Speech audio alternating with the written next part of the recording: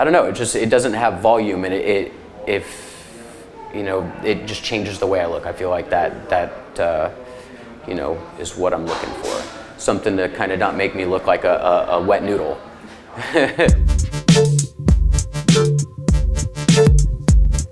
we talked about uh, yours briefly, and you were digging the length up top. So um, I think we'll just take off like a month's worth of, uh, of length, which is about half an inch, because you said you were digging uh, digging what you had going on. Absolutely. But we're gonna take that, the sides down.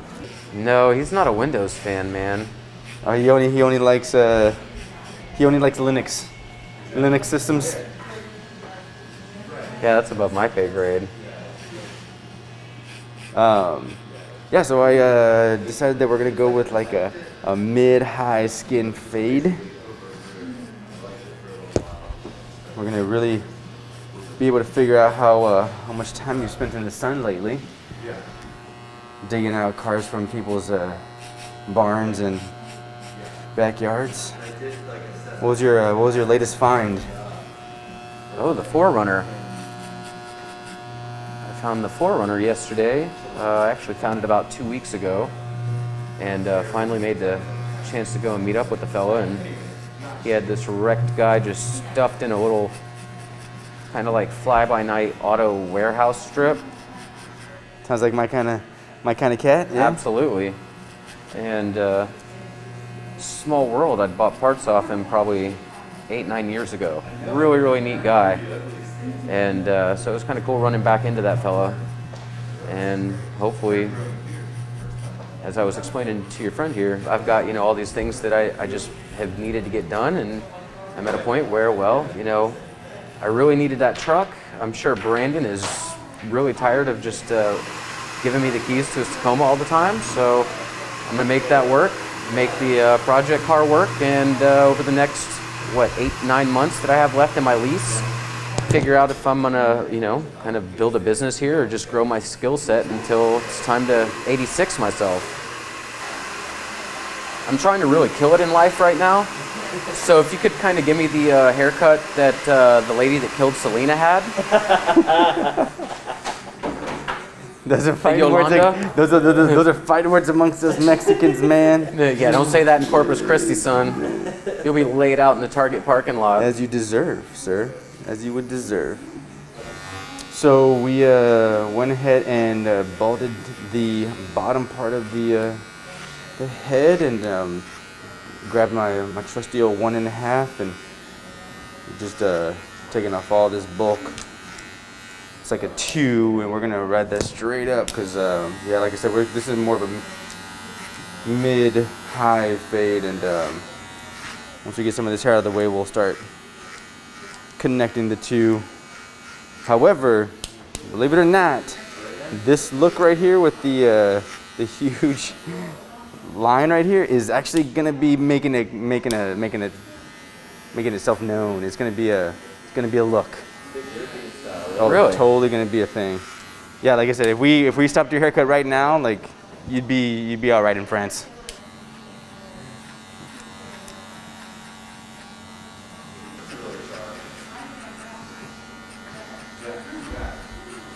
Yeah, you and I are junkyard dogs, man. We always uh, yank stuff out of old rusty cars, and and uh, that is like the scent. That is the way to go, right? That black ice pine tree. Oh, it's horrible, yeah. uh, that or the coconut. I had a coworker that would stack the coconut ones on there until it looked like like a grocery sack, just full of like an old HEB sack that was just you know like sun faded, and it was just the coconut things that were sun faded. But you could smell his car from probably like an eighth mile away. He'd leave the windows like cracked in the summer, and the wind would blow, and you'd be working on something. It's like, oh man, Amar just pulled up.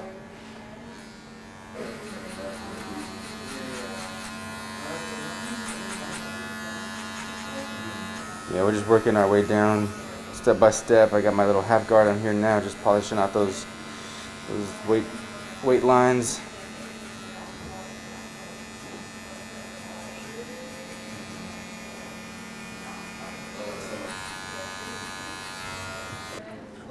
But I'm really, really, really just wanting to cut the whole front off so I can actually, you know, just pull the trigger buy a tube bender and you know, That'll be Learn. sick. That'll be sick. Build some cages. So right now I'm uh, I'm just looking at uh, the shape of the the previous haircut, and we're just gonna take off about a month's worth, which is half an inch. Like I said, you were digging the length, so I don't want to get too aggressive on it. Still leave you something to work with. With that skin fade on the side, it should have a nice contrast to it. When's the last time you rocked a pompadour? you know, probably 1990 never.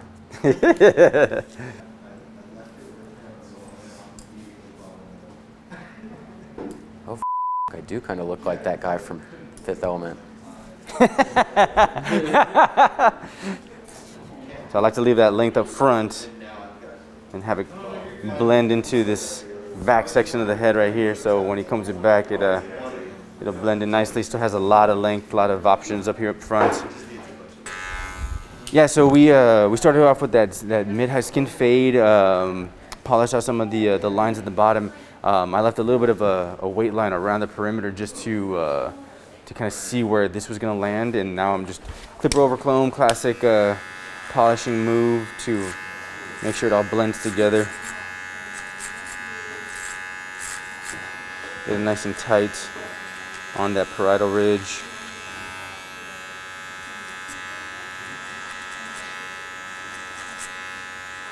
I'm using a black comb because he's got lighter colored hair so I can see it a little easier.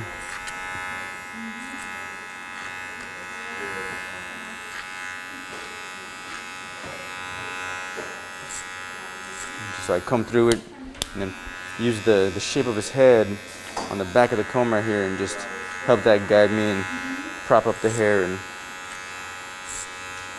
create a plane with the shape of the comb. So following the following this shape right here so that it's a nice natural flow to his to the hair line you know sitting on his head as opposed to creating too many sharp ridges that are not in uh, unison with his head. Unison? I, I guess i'm making up a word i guess not the word itself but for this in this context. The definition. yeah I'm kind of worried Pig's not going to recognize me. Oh, pig. He's got a, uh, a beautiful, beautiful pit bull. Cool, cool shot dog.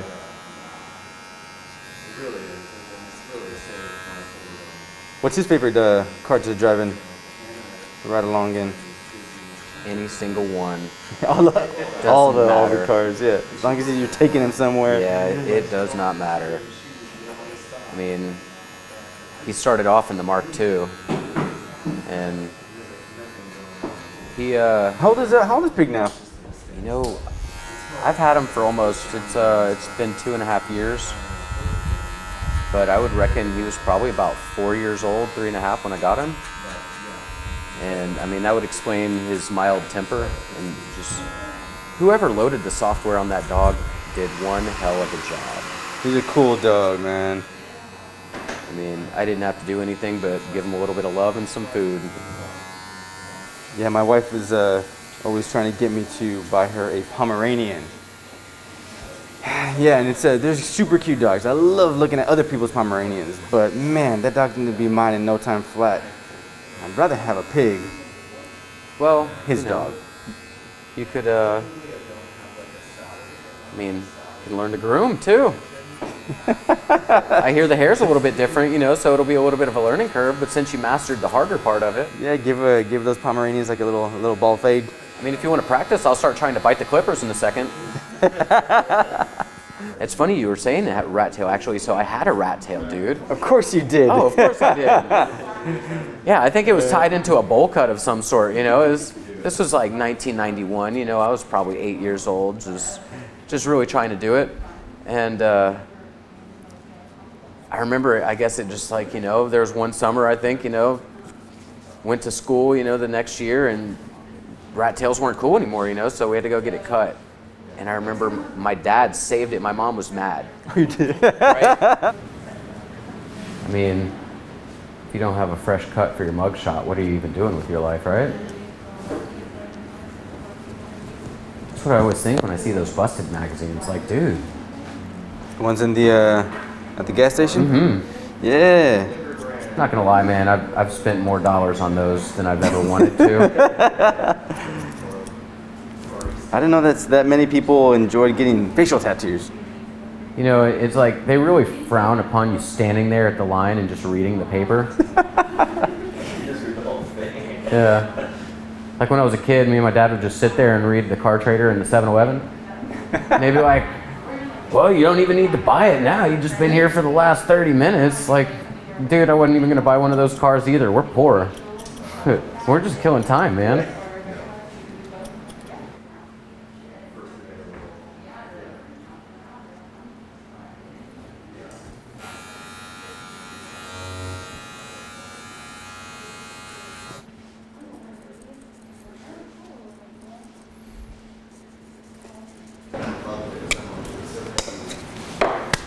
Get some of that styling balm. We'll just uh, lock this guy into place. can uh,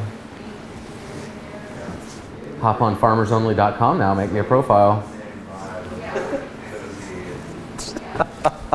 Dude, my ex's mother literally met her man on Farmers Only. This is the second one she met on there, right? Wait, is she a farmer herself? Because I feel like but that's so- cheating. no, no, check this out. So she her her username, I think her her birth year is like 1957. So she made her her username Farm Girl 1957, right?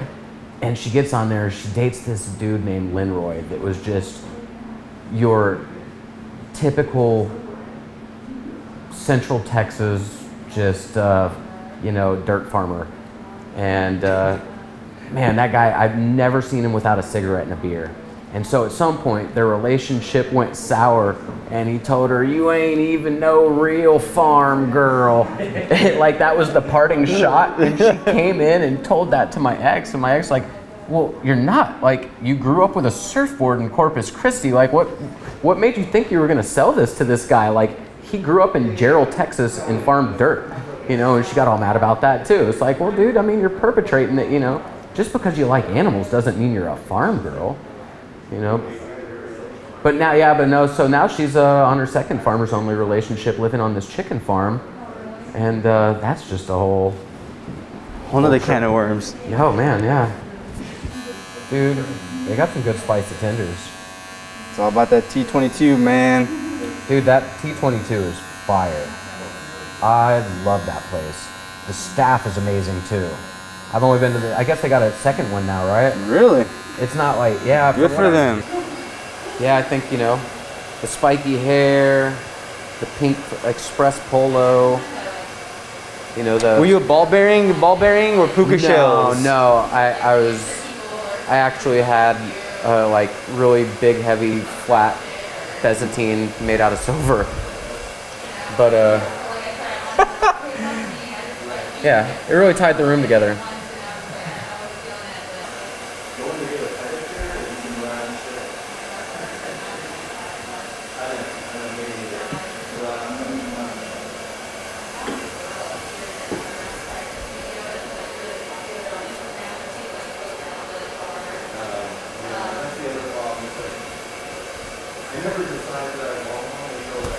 I'm about five craft beers away from starting a fight with someone.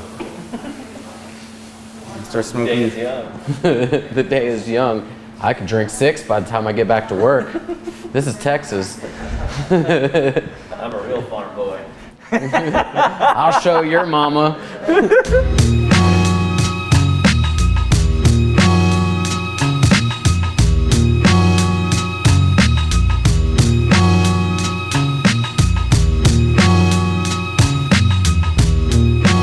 Well, I asked for volume and I got it. You know, so um, I'm honestly pretty impressed that he was able to even make my hair do this. I've never seen my hair be able to uh, stand up without being, you know, spiked with any kind of gel or, you know, and, and he didn't use any aggressive product or anything. So um, I think moving forward, uh, I can actually kind of like get you know a decent haircut. Like I'm, I'm actually just really excited. You know, I, I'm, it's gonna change my look.